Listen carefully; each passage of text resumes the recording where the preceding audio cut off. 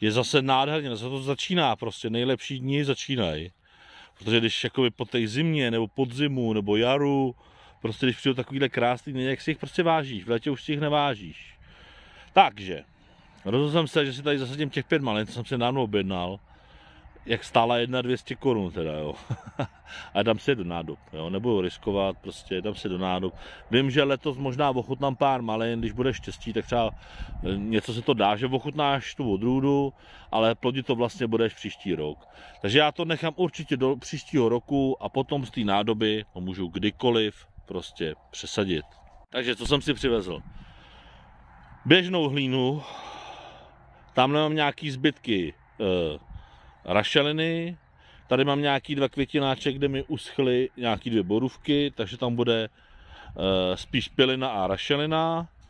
A tady mám hnůj a pod tím hnujem mám e, dřevěný uhlí. Jo? Takže na dno nádoby dám hnůj s dřevěným uhlím. Dřevěný uhlí proto, protože ho teď mám docela dost, ale hlavně dřevěný uhlí se chová tak, že ona, když to zjednoduším, jo, tak ona se chová něco jako houba, jo, nebo jako gel. Ona do sebe nasáhne, natáhne vodu a teď v té vodě jsou, je hnojivo, jo, jsou tam mikroorganismy, takže ona funguje takový jako opravdu přírodní gel. Není to naprosto nic špatného, naopak je to dobrý. Nehledě na to, že to uvolňuje prostě to uhlí, prostě vápník, uhlík, hořčík a fosfor, jo? Takže to je, tak, takže to je jako super. Dřevěný uhlí a popel je prostě super. Nádoba. V nádobě mám díru zhruba 4 cm od dna, jo? To je asi zhruba vidět.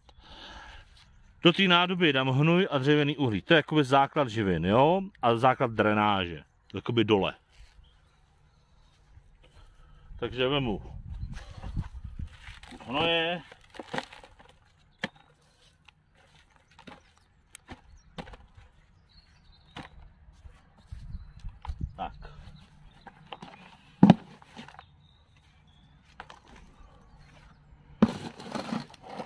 Trochu uhlího.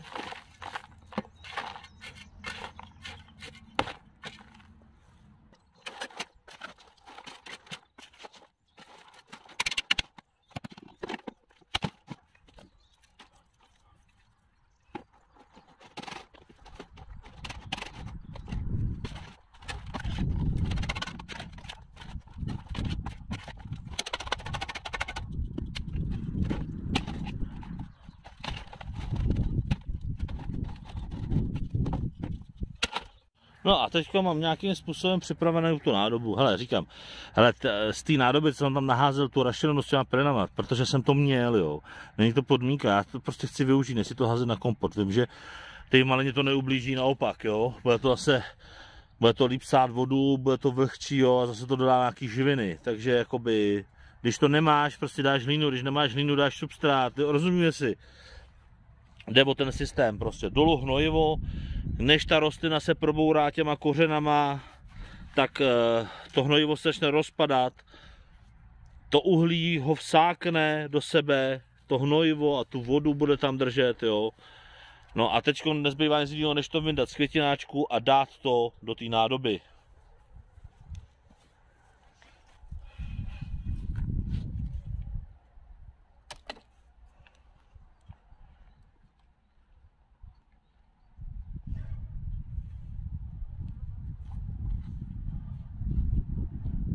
Ještě tam musím přidat hlínu, je tady málo hlíny. Dáme tady to, to je opět jedno.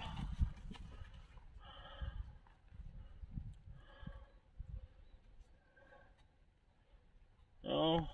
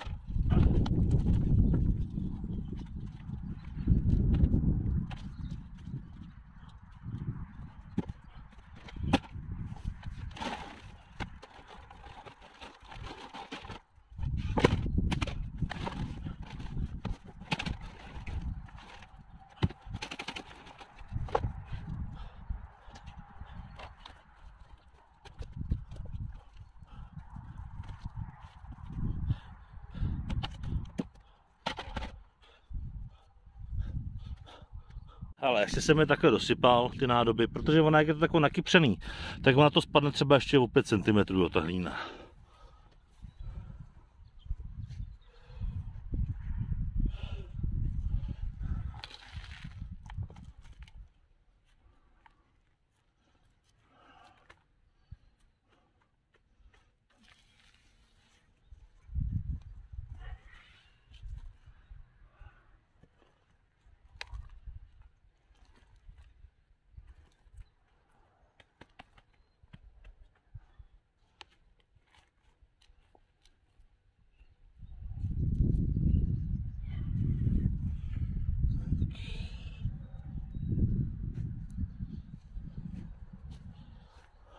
Tady ukážu prostě další jako docela dobrou výhodu, když máš sezónou v nádobách. Tady jsem střílel angrešt, koukej.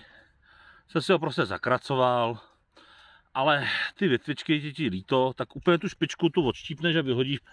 A, ale zbytek zapícháš prostě do toho květináče. A prostě vidíš, že tři, já neříkám, že jsou chycený, jo? to znamená, že jsou živí, jo? ale z největší pravděpodobností zakoření třeba během tak 14 dnů, měsíce, jo, že zakoření. Tady ten třeba ne, vidíš, ten jako nic nedělá zatím. Jo, když byly dost dlouhý, tak jsem to prostě takhle píchl a vím, jaký je to druh. Rozumíme si, jo? Neřeším. A mám prostě tady tři sazenice. Nejsou roubovaný zase, jo? Ale prostě mám tady tři sazenice.